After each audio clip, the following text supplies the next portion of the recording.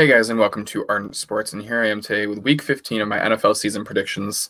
Um, I'm gonna do it this way today, uh, a little bit different, but that's okay. So let's get right into it. So I have tonight the Chargers and the Raiders. Um, definitely gonna be an interesting game. Um, both teams are about equal. Um, Raiders just doing a little bit better.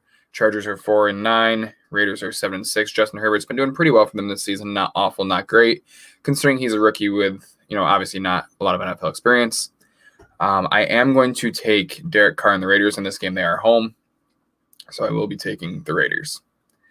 Saturday, we finally have some Saturday games.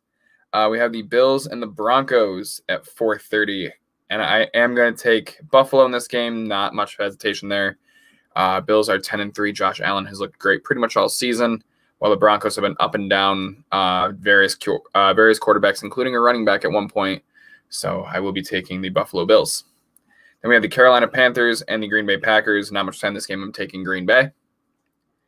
Uh, the Tampa Bay Buccaneers and uh, Falcons Sunday, one o'clock. I am taking the Tampa Bay Buccaneers. The San Francisco 49ers and the Dallas Cowboys. Believe it or not, I'm gonna take the 49ers. Uh, it's going to be a really close game. Might even be kind of low scoring, but I will be taking San Francisco. Uh, next, we have the Detroit Lions and the Tennessee Titans. Not much to say on this one. Not much of a question. I'm taking Tennessee.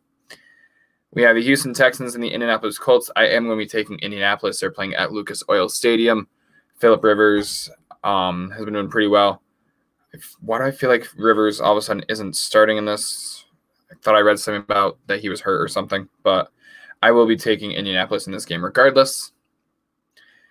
New England Patriots head into Miami just in time to get out of this massive snowstorm. Um, New England has been not New England this year, um, but the Dolphins have been doing okay. Uh, Tua Tagovailoa is officially their starter over Ryan Fitzpatrick. Um, Cam Newton has been doing decent since he's come back from the injured list, or whatever you want to call it, just questionable because he wasn't really on the reserve. He was just out for a couple games. Um, I'm going to take Miami. They're at home. I think Tua is going to get the job done. I'm taking Miami. The Bears and the Vikings. I'm going to take the Vikings in the battle of the six and sevens in Minnesota. Seattle Seahawks and the Washington football team. I'm taking Seattle, no questions there.